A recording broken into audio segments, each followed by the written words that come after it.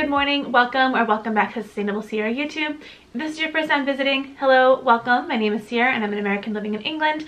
Every week I make a video about my family's life here or whatever it is we have to be excited about on the weekly. As you guys can tell by the title of today's video, I'm going to be doing another one of my famous Lush subscription unboxings, except this one is a little bit different because it has a special theme, and it is the SpongeBob SquarePants themed box, which I've got mixed feelings about, to be honest with you, because I just don't know what's going to be in the box. I did have a little peek inside, and it's really cute as soon as you open up the packaging. The inside of the package looks like this and it's really really cute. I'm actually really excited about it. Unfortunately my spongebob knowledge is a little bit lacking because i've never been a big fan of the show but i have heard that there's a gary the snail in here which is i think spongebob's cat.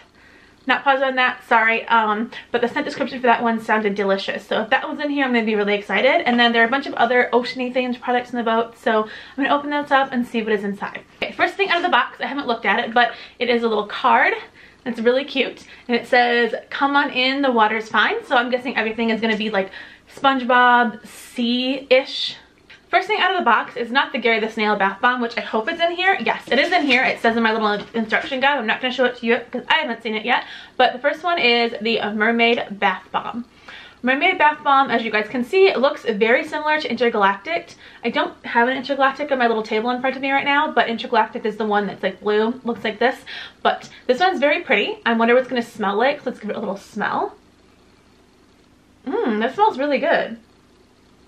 I don't know exactly what it is, but it kind of reminds me a little bit of the Avo Bath scent. Don't quote me on that, but we're going to check the description on the instructions. I'm going to tell you guys what's in it. So it is scented with lemon myrtle oil, which I love, ylang ylang oil, grapefruit oil. It also has some coarse sea salt in there. So basically, I guess it's supposed to give you kind of the feeling that you're in the ocean. I don't know if the ocean smells like lemons, but I'm here for it. Moving on to the next item is, oh, it looks like a soap of some kind. Wait a second. I don't think it's actually a soap. I think, is it shampoo? Is this the Trichomania shampoo bar? Yes, okay, so it's not actually a shampoo bar, but it's called the Trichomania Solid Shampoo, which has been around for a really long time at Lush. Although back in the day, it used to be an all white bar and they used to do slices, which obviously this has been sliced up, but it is a really beautiful nourishing coconut shampoo that obviously comes in the solid form and it's very moisturizing and nourishing and it kind of smells like that candy. It was like a coconut neapolitan candy from when i was growing up in the 90s if you know what i'm talking about great. If you don't it smelled like coconut and it was delicious but let's give it a good smell oh it still smells the same but it feels like maybe it's been a while but maybe it has a little bit of a florally scent to it hang on no, I think the floral is probably coming from something else in this box, but it's really pretty. I wish it had like a um, like brown section so it would really look like the Neapolitan candy, but I'm here for it.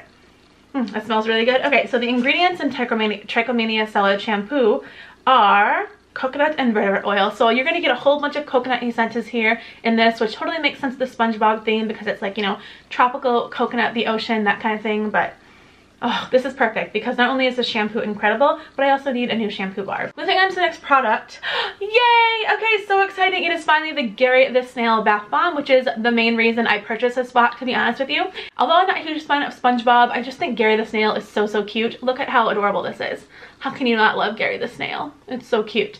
And you guys might not know this, but we actually have like a little thing for snails in our house because we have them in our garden. So I'm gonna give it a smell and then I'll tell you guys all about the scent. So Oh, that's really interesting.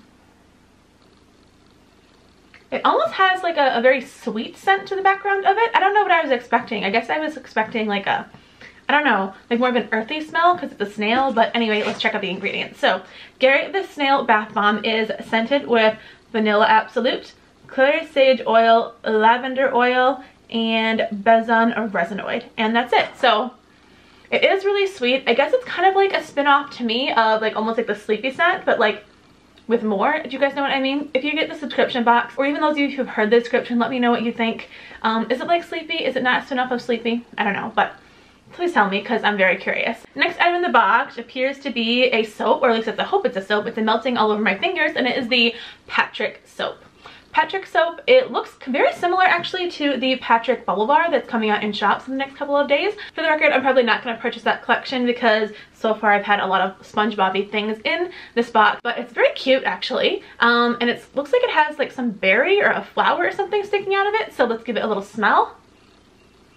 Ooh, that smells incredible. Usually this isn't a scent that I would pick up because typically in the stores I kind of go for more like earthier, more like natural scents, but wow, this is really good. So I'm gonna check my ingredients. Actually, I'm gonna set it down first because it's really melting everywhere. So the main ingredients at first are rapeseed oil and coconut oil. So that's why it's so melty and delicious.